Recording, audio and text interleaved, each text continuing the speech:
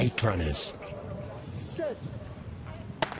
Away they go, first time, a good start from Omanyala and Simbine, but it's flat. Here they go, the two in the middle lanes, but it's uh, Omanyala's going to crush this one. A superb run, 9.98. What a run!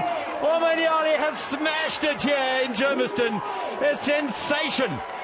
Ferdinand Omanyala has brought his A game. The beast has really set the Easter light.